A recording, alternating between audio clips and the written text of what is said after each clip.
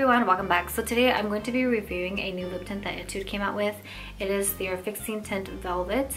They only came out with one lip color which is Winter Strawberry. This is a collaboration with my fave Archive. They sell different types of merchandise like iPhone cases, keychains. It is different from their Fixing Tint collection. For the packaging, you have a rectangular shaped packaging. It has a bow at the front, white body with a pink cap. For the brush, you have a typical lip tint brush. It tapers from the bottom up and it has a round tip, um, slightly angled upwards as well. It is a limited edition, but today I will also be comparing with other lip products to see what is similar to it.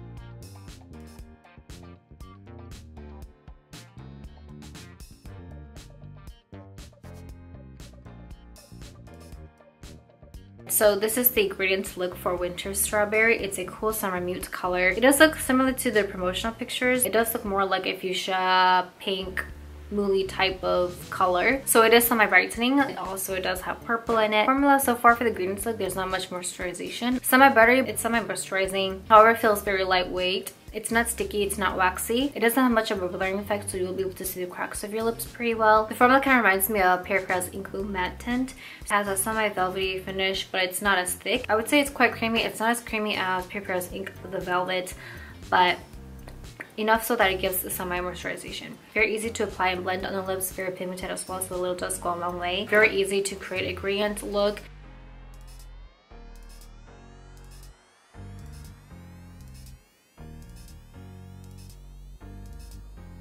So this is the full. Now we have more pigmented pink woolly color. It does have a little bit of a purple undertone, but it's quite subtle. It's going to look more like a fuchsia pink color. For the full it is a little bit muted, but because it does have fuchsia in it, it's semi-brightening. It is more moisturizing than the Gradients look. However, it does have a semi-buttery velvet finish. It's also a matte finish as well. Very pigmented, very buildable, easy to blend. It creates an even application. I'm gonna go ahead with the transfer test.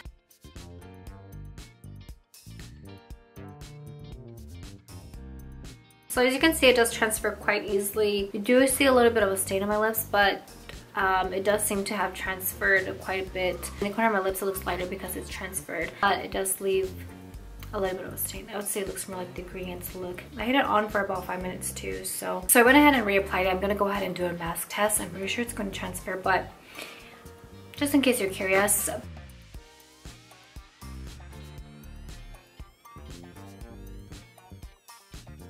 So it did transfer quite a bit. The stain is still quite pigmented. Here's a comparison swatch. We have Winter Strawberry at the bottom. And then we have Romand's Mauvish in the middle, which looks quite similar to Winter Strawberry. They have a similar mauvey pink purple color. At the top we have 15 Woody Pink from a Etude's Fixing Tint. It does have more purple in it. It's a little bit more muted. Here's a side-by-side -side comparison with Mauvish. I have to say, they do look really similar. If you are interested in the shade color and it's hard to get it, I would recommend Romand's Blur Fudge Tint in Mauvish. Beautiful and perfect shade for fall. It's actually one of my favorite um, shades for fall this year. For the formula, it has a semi-velvety finish. It's not super moisturizing, but it does make your lips look moisturized. It has a semi-matte finish. As I mentioned earlier, it's very easy to blend, very easy to build up the color, very pigmented. It's not as fixing or long-lasting as I would have imagined it to be, but it does give a little bit of a stain. So that's all for today's video. Thank you so much for watching, and I will see you in the next video.